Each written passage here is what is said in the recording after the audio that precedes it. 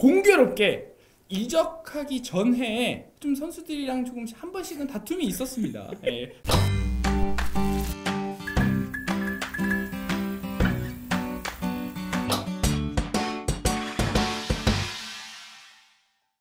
꿀TV 구독자 여러분 안녕하십니까? 꿀TV의 혁혜입니다. 오늘 도움 말씀에는 꿀TV의 편집장이죠? 꿀닷컴 코리아 편집장 알팀 나와 있습니다. 인사 아유 부탁드릴게요. 반갑습니다. 안녕하세요. 네, 네 토트넘이 1대0 승리를 거뒀는데 이제 경기 내용보다는 많은 팬분들께서 전반 종료 직전 이제 막판에 있었던 어, 위고 요리스 선수와 손흥민 선수의 좀 언쟁에 대해서 이야기가 있었, 있었는데 어떤 상황이었죠? 그 전반 이제 추가 시간이 5분이 주어졌는데 네. 한 49분 몇 초 경에 이제 토트넘이 역습을 이어가려다가 또 볼을 뺏겨서 그렇죠. 재역습을 당하는 상황 인데 그때 이제 공격수 토트넘 공격수 손흥민이라든지 해리케인 뭐 모우라 이런 선수들이 다 이제 전방을 향해서 뛰다가 다시 또 돌아와야 되는 상황이었어요. 네. 근데 거기서 이제 뭐 손흥민 선수는 약간 중앙선 넘어서 상대 진영에서 돌아오지 않고 약간 음. 이제 아 뺏겼다 음. 하늘을 보면서 그러면서 약간 돌아오지 않는 게 보였나 봐요. 요리 네, 때 수방에서 딱, 딱 입장에서, 보이니까.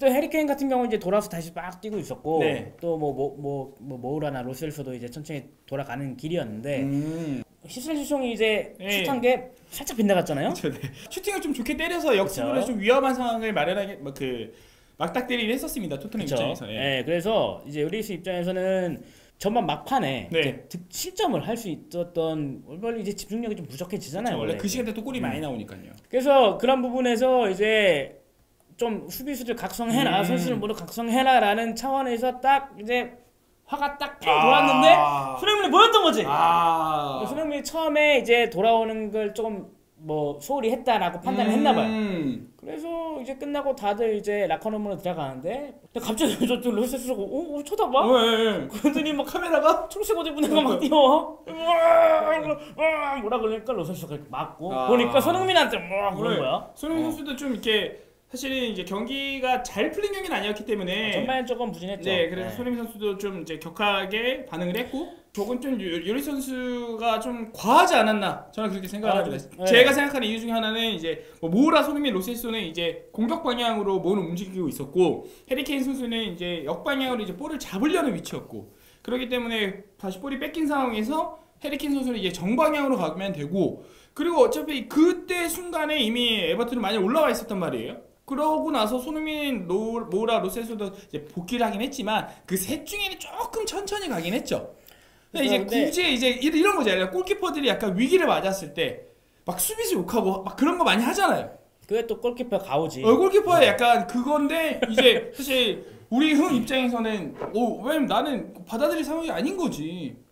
야, 나는 역습하려고 나가는 그래, 상태였다 나가고 나는 스프린트를 이제 하려는 찰나였다. 난 그래서 두 사람 마음을 다 이해는 해 아 이해는. 하는데- 저는 요리스 마음 이해 못합니다. 그래도 있었다면은 나는 라커룸 들어가서 했어야 돼. 아 들어가서 하는데 들어가면서 또 감독님 계시니까 아 그런 큰 거. 소리 또 못 내지 또 아.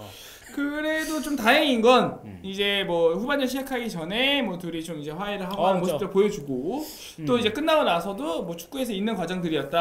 아, 뭐 그렇죠. 이런 얘기들도 있고 네, 또 근데 뭐. 저는 손흥민 선수의 완전 팬이기도 하고 네. 정말 어, 어, 항상 플레이를 보면서 아 박수를 크게 치는 사람 중에 그쵸. 하나인데 그 상황에서 그래도 조금 아, 아무리 음. 이제 추가 시간이 거의 끝난다고 해도 하늘 보면서 아 뺏겼구나라는 게 아니라 조금 더 어, 아 그러면 조금. 아쉽지 않았나? 왜냐면은 또 거기서 플레이가 또 뭐 에버튼이 공격을 하다가 또 뺏기면 바로 또 어 역습을. 탈취해서 나갈 수도 있는 상황이 펼쳐질 수도 있으니 응. 조금 더 아래로 내려가서 음. 커버를 좀 해주면 물론 힘들지만 이제 막판이니까 추가 시간 음, 뭐 그런, 그런 부분에 대한. 예, 그런 부분에 대한 뭐 어, 주장의 이제 비난이 아니었나 비난 음, 각성 각성 팀을 네. 위한 좀 각성. 그런 예, 근데 또 리스도 또 이렇게 소리 깨끗 찌르고 하면 또 나는 좀 예. 그, 그 자체가 불편했다 이거지. 근데 조금 저희가 이제 이 사건을 계기로 좀 손흥민 선수가 이때까지 선수 생활을 했던 팀들을 좀 보면은 공교롭게 이적하기 전에 좀 선수들이랑 조금씩 한 번씩은 다툼이 있었습니다. 예. 그래서 참뭐 함부르크 그렇죠. 때는 이제 뭐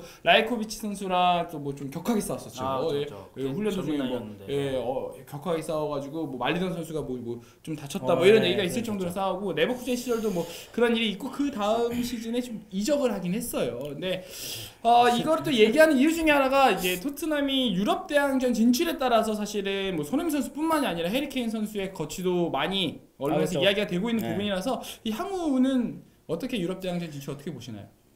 뭐 이 오늘의 이 해프닝이 뭐, 음. 뭐 이적인 영향을 이- 크게 주진 않겠지만 그쵸. 어쨌든 그런 이제 행보를 보여왔기 때문에 이제 팬들은 또 그런 연관적 생각을 하곤 하는데 지금 이날 승리로 토트넘이 승점 3점을 맞았죠. 확보를 하고 이제 8위로 올라섰어요. 8위. 이제 셰필드랑 승점은 도- 똑같은데 이제 골득시도 앞서갖고 8위에 올라갔는데 근데 이번 시즌 어떻게 될지 아직은 모르는 게 물론 이제 힘들긴 해요. 자력으로 뭐 남은 다섯 경기 음. 5연승을 한다고 해도 다른 위 위에 순위 있는 팀들이 뭐 좀 패가 좀뭐 또뭐 동반해줘야 한- 되기 뭐 때문에 2승 3패라든지 이렇게 네. 해야 하면 뭔가 역전이 되겠지만 조금 어려운 상황이긴 한데 한 가지 그래도 이번 시즌은 조금 우리가 어, 기대를 조금 갖게 하, 하는 부분이 EFL컵, 까라바오컵에 맨시티가 우승을 했어요. 아, 네. 그리고 이제 FA컵도 좀 예, 상위권 팀들이 우승할 가능성이 조금 아직 남아 있고 그리고 또 한 가지가 이제 그 맨시티의 징계가 이제 뭐 한 7월 중순쯤 나올 것 같은데 만약에 맨시티가 징계를 받고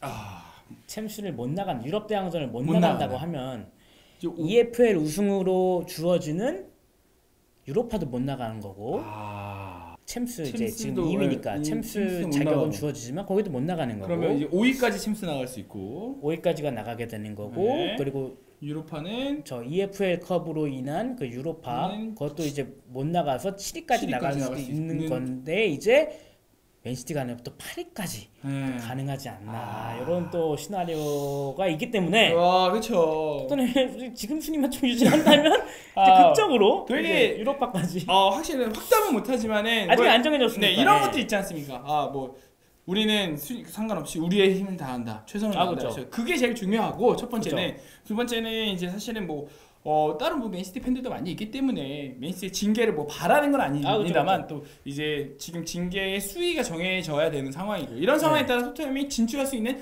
저희 가능성을 얘기하는 부분이고 그렇죠. 네. 지금 아직 뭐 그래서 좀 정해진 게 많- 확실히 하지는 않아서 네. 뭐 이런 시나리오도 있다 이런 가능성도 그쵸. 있다라고 예. 봐주시면 되고 근데 진짜 확실한 건뭐 힘들어요 네, 아. 가능성이 좀 적은 거는 뭐 부정할 수 없는 사실이고 지금 네.